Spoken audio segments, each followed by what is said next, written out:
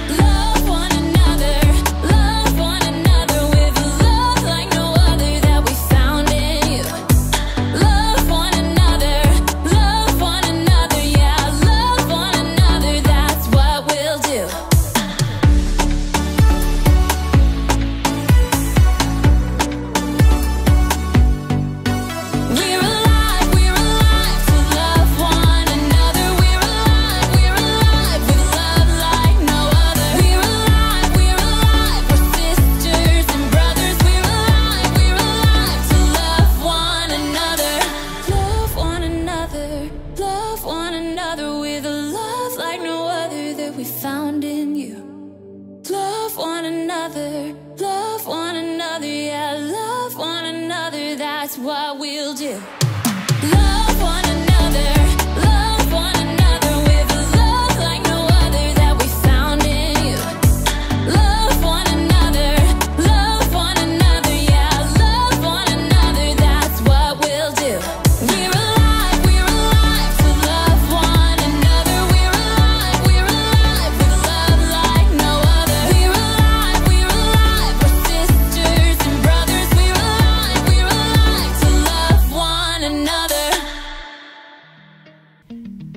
Job singing.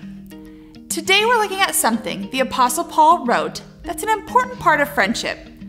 Paul was also known as Saul. He's the same person who we talked about in our story last week. We're going to look at Paul's letter to the Colossians, which is part of the Bible today.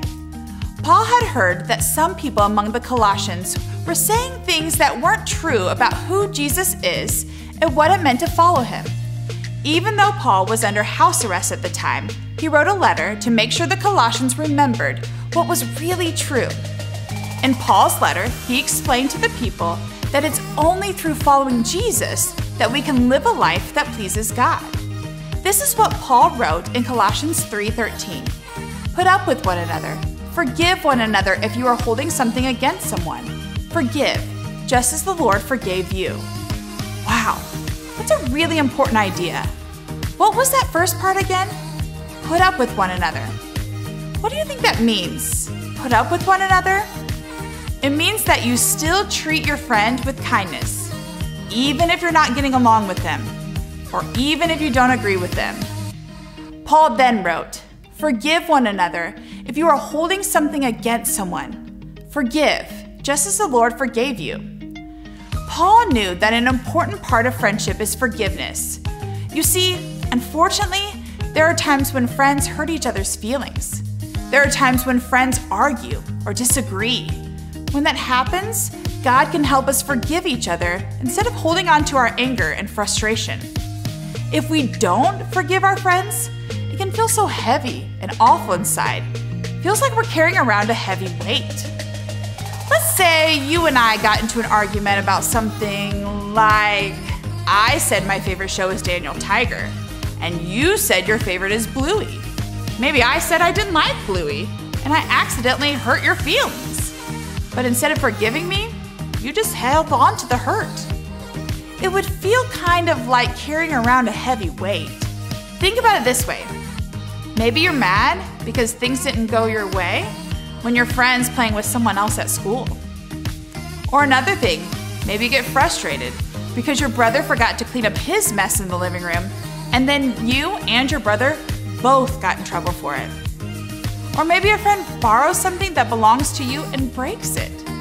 Later, the friend says they're sorry, but you're mad and you don't want to forgive them. If you carried all of that around, it would feel like lots of heavy weights. Well, guess what? We don't have to carry around our hurt and our frustration. God has given a way to let go of whatever we're holding against our friends or anyone else. We can choose to forgive. Remember, Paul said, Forgive, just as the Lord forgave you. We know what it feels like to be forgiven because God has forgiven us. God sent Jesus to be our Savior, and Jesus gave up his life on the cross to pay the price for our sins, for the things we've done wrong. As Paul explained in another one of his letters, here is how God has shown his love for us. While we were still sinners, Christ died for us. We have the perfect example of forgiveness because of Jesus. God showed us what it means to forgive. We don't need to demand that someone else has to get it right before we choose to forgive them. We don't have to wait for them to say they're sorry. We can just choose to let it go. We don't have to carry around our hurt and our anger. We can choose to let go and forgive our friends. Let's remember what Paul wrote Put up with one another, forgive one another if you are holding something against someone. Forgive just as the Lord forgave you. Disagreements and hurt feelings are part of life. They can happen in any friendship. We can only live in true peace and friendship with others when we make the choice to forgive. Remember our bottom line today friends forgive one another. Let's pray and ask God to help us forgive. Dear God, thank you for reminding us today that we need to forgive each other. Thank you for sending Jesus and making a way for us to be forgiven. The next time we feel hurt or frustrated, please help us remember not to carry those feelings inside. Give us the courage to forgive our friends and let it go. We love you, and we pray these things in Jesus' name. Amen. Thanks for joining me today as we learn that we are designed to be friends with God and with each other. Be sure to have your family head to our website at crosspointweb.org/family for information on how to sign up for the ParentCue app. The app gives you many different ideas to connect with the story, along with ways to connect as a family. And don't forget to have your family subscribe to Crosspoint's YouTube channel. Be sure to hit that subscribe button too. I look forward to seeing you again soon. Bye bye now.